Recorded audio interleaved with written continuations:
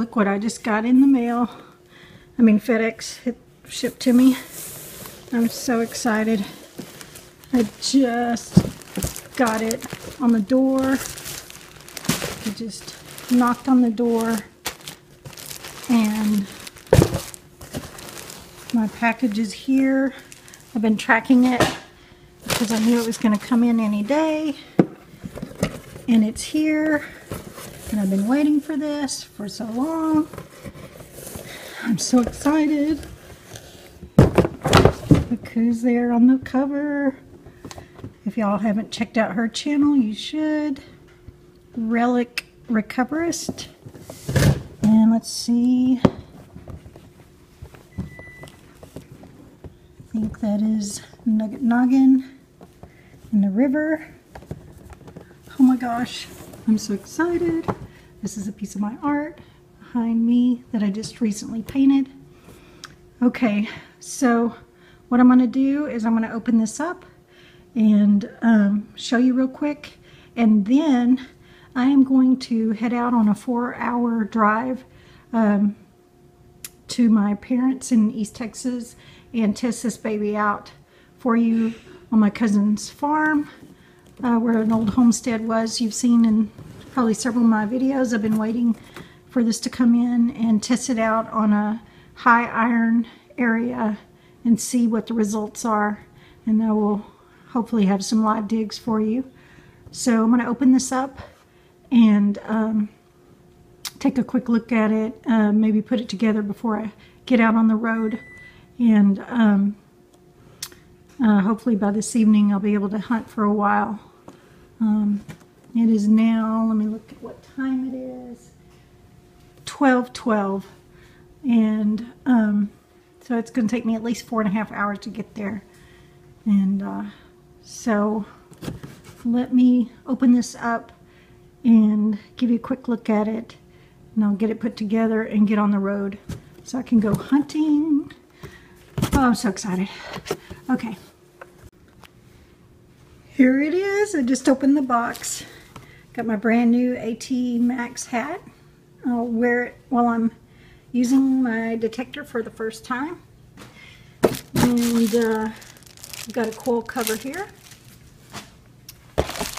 And I will be reading this.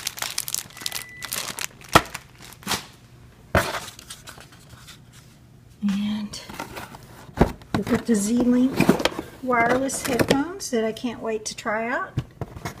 I've only tried out wireless headphones once before, and I really didn't care for the ones that I had. That those were when they kind of had first come out.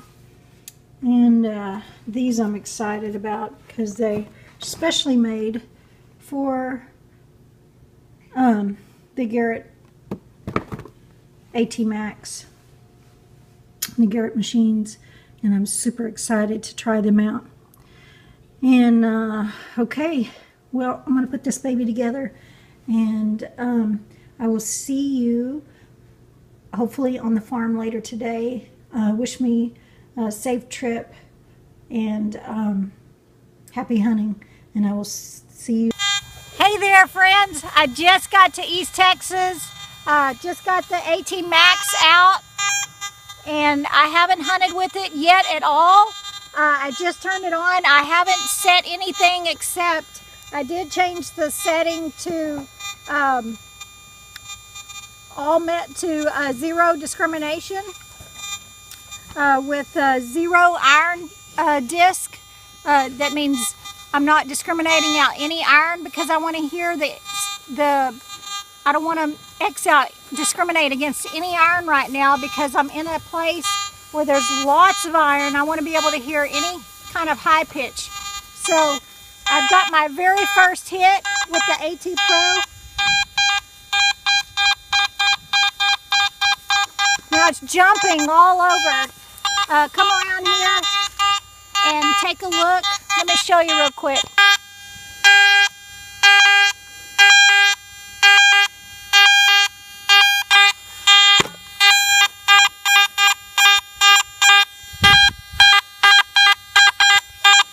This is probably a big piece of iron.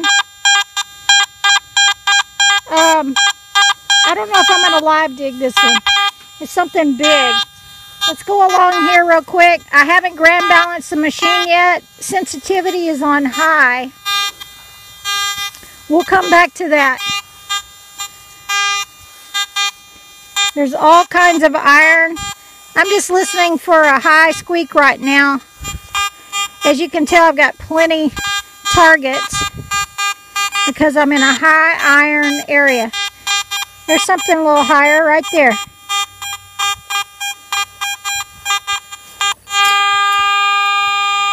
Well, it's not very deep though. We'll go ahead and dig it and get back to you and let you know what the very first find is. Okay, very first find with the uh, AT Max, almost called it the AT Pro, was this little piece of iron. And then just got this, dug this hole and got this. At first it looked to me like a horseshoe, but it's not a horseshoe. It's got two um, round things where something would have went through right there, but neat find. Uh, there's going to be tons and tons of iron relics and stuff here. So, um, the weeds are really high this time, so um, I'm going to stick to this area right here um, is where the old home site was. So uh, stick to here and then try to get maybe back over there in those weeds some, but it's going to be hard to detect in. All right, we'll get back with you. All right, the third decent target uh, out here. This was hit in the, in the 80s. Um, it was a bit choppy, so I wasn't for sure what it would be, but check it out. An old hatchet head. This is really old. Cool find. All right, I'm going to keep on plugging along. Uh, right over here, let me find it, right there, that clump of bushes, there's where the old uh, house well was. So right there is where I found the Indian head penny before, I think it was 1903. Uh, so um, I'm about to come in that, I was headed in that direction. We'll see what we can find. Stay tuned. The sun is setting. I may have to do a little night hunting. I do have the backlight on the AT Max, so I'm excited about that. can barely see the sun setting behind the trees way in the distance. All right, we'll get back with you. Hey there, just dug uh, right here. I think part of a suspender clip, but it's coming up in pieces. Uh, I was just trying to wet it down so I can get some of that crud off of it, see if I could get the writing.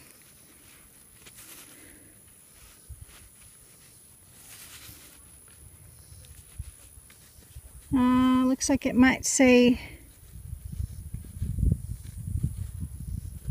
Shirley. I'm not sure. I'll get it cleaned up and then got part of it over here just felt another little piece of it. Gonna see if I can get the rest of it up. But uh, too bad it's in pieces. But uh, still a neat find. All right, stay tuned. So, got the AT Max over here in the woods, just across the fence back over here. You'll see a cow right over the other side of the fence. There's a pond over there. Just crossed the fence and came along. Um, I'm using the uh, wireless, uh, the Z-Lynk headphones right now. Just come over here. I just wanted to show you this real quick. This is part of a Luna moth. It's, of course, deceased. Been deceased for a while, but just wanted to show you part of a Luna moth um, here. The kind of things you encounter out in the woods. Uh, there's a site over here in a ravine. If I can find it, we're going to hike over there, my father and I, and uh, hike over there and see if we can find it uh, where I had found an old dump site at one time. Uh, see what we can find. We found some mason jar lids and uh, some interesting little items over there before. So we're going to hike over there and uh, I'll let you know if I find anything. Sun is starting to set again and the cows are out here in the pasture. And uh, let me just show you a little bit of the weeds and all the stuff here I've been metal detecting in.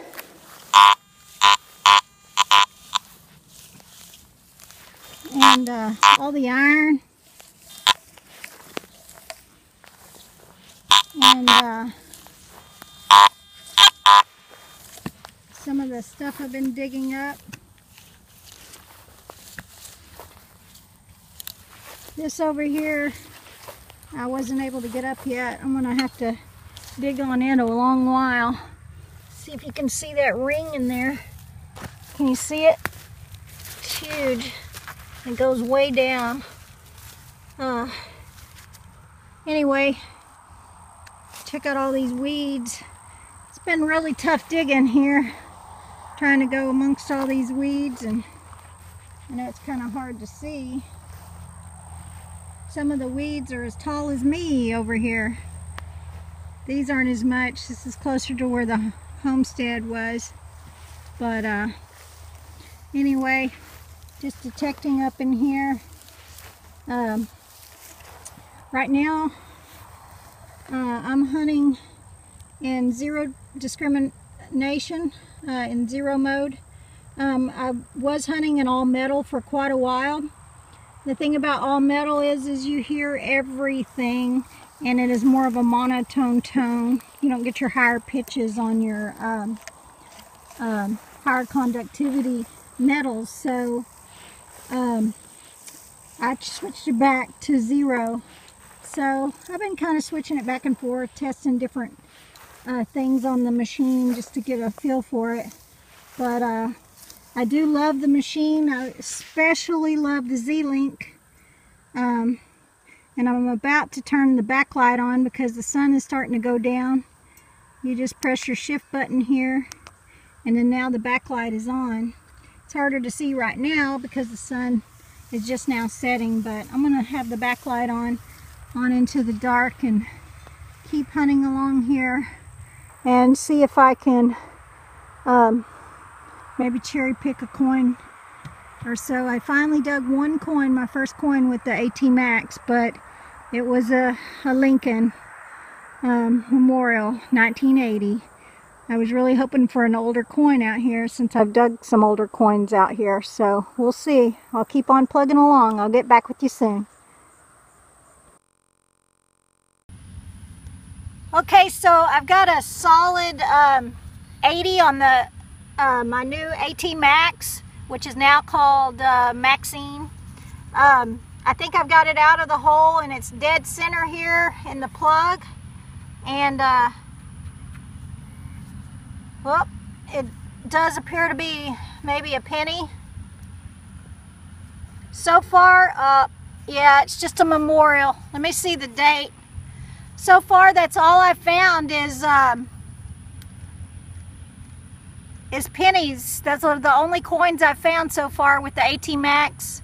Um, 1982. I think the oldest I've got is 1979 or something like that, 75, somewhere in there. Or maybe 72, I can't remember. But um, anyway, it's a coin.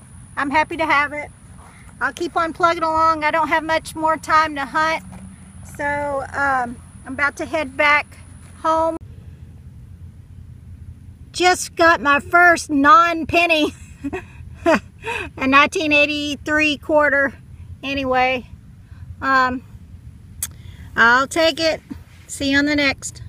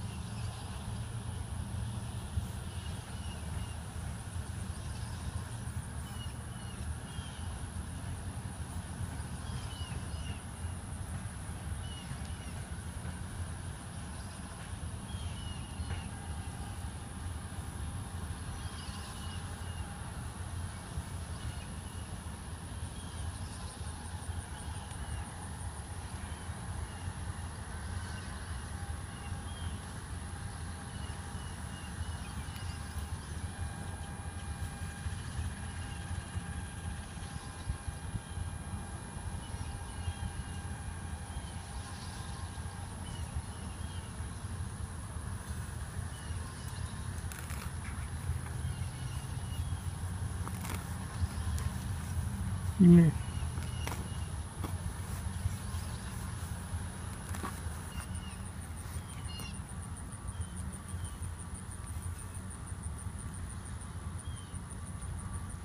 Copper wire.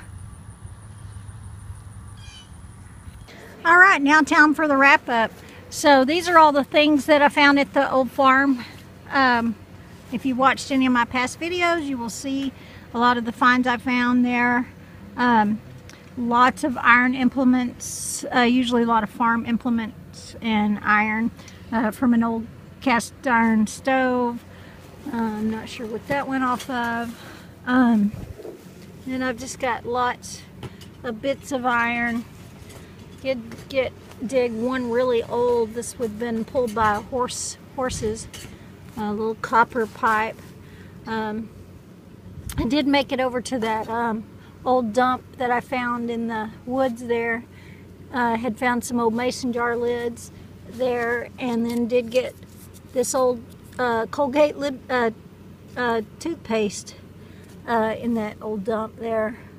Um, as for my favorite finds that I found out there, did get the axe head, um, did get this pin here, um, and I think that would have went into the back end of a tractor to pull something, is what I was told anyway, because it has a pin here. At first I thought it was something that would have stuck in the ground and you would have tied your horse to, but the cool thing is that this still swivels. That's one of my favorite little iron pieces there that I found. And then I always love finding the old lucky horseshoes. Uh, I've got one there, and you would have saw that on film. Then I did get um, my little horse ring ringies. Uh, this has got a hook. I've found those out there before. Not sure what that spoke thing went to. Um, and then did get this here when I first dug this out of the hole, I thought that might be part of a, a belt buckle of some a buckle of some sort, but apparently it's not. I'm not sure what it is. It is copper, so maybe somebody knows. Um, then um, did get some shotgun shells and um, bullet casing, and then two of these. I've gotten these in the past uh, accordion reeds. And did get the suspender Shirley suspender clip part of one. I did get this. I found one of these previous um, and I think it's part of the snap that belongs to an old canteen is what I found out um, that one may have some writing on it I may have to clean it up if there is anything on it I'll flash it across the screen did get uh, these coins the only coin that I got those uh, near the school where I was hunting earlier. Uh, did get one penny on the farm, 1980. My very first coin with the AT Max. I was really hoping for some silver, but not this time apparently. Um, but back to the old school finds. Oh wait, before that, I did get this really neat copper thing. I'm not sure what it was or went to. Maybe the top of something. Anyway, neat find. Um, then um, my modern coins, clad coins uh, from uh, near the old school. And then down to my favorite find from the old school, I got this. Sorry, it's very sunny and hot out here. I'm getting a shadow. I apologize. But um, I'm going to hold this up. It's in pieces, but it does say frigid air air spelt like A-I-R-E. And um, let me see if I can zoom in there. Uh, product, I think of General Motors. And then it has, it was made in Dayton, Ohio, USA, right here on the bottom. I looked it up on the internet and the only ones I could find weren't as old as this. They were more made out of aluminum. So I'll see if I can find any more information on that and see when that company, I know we've all heard of that company, see if I can find out when it started and maybe find an original piece that's not all torn up. But nevertheless, I really like that find. That is cool. So, um, anyway, let's see. I'll take one more quick overview of what I found. So you can see, um, did get this weight. I think it's like a 15 pound part of a weight at the school, the old school. And then, then I did get an old marker here. And this is copper. Got that little copper thing. Found a uh, cow tooth at the farm. That's about it for this hunt. Um, I may, uh, oh, one other thing. I think it was the old door handle to maybe an old Ford car or something. Um, is what I think it is. But anyway, is it. We'll see you. Um, that is it. Thank you very much and uh, happy hunting to all. Hi there. Guess what time it is? It is mail call time. And I just received a package from uh, Myers uh, detecting metal detectors in um, Tampa, Florida. And I wanted to show you all the goodies Phil sent me. And uh, these goodies are for you. Um, these goodies I'm going to be giving away on my channel. Uh, you must be subscribed to the channel. Um, that will be one of the rules. But I'm going to be giving these away to my subscribers. And I'm going to do a drawing once a week. So you're not going to want to miss. Um, you're going to want to um, subscribe to my channel if you haven't already and, and click on that bell so you get alerts when I upload a video so you'll know when to enter the drawings. I'm going to be doing a different drawing every week. But first let me show you what I'm going to be giving away. So I've got, Phil sent me three Myers metal detecting uh, hats. He also sent me two metal signs and these are awesome. These are heavy duty metal signs. They say treasure hunter parking only.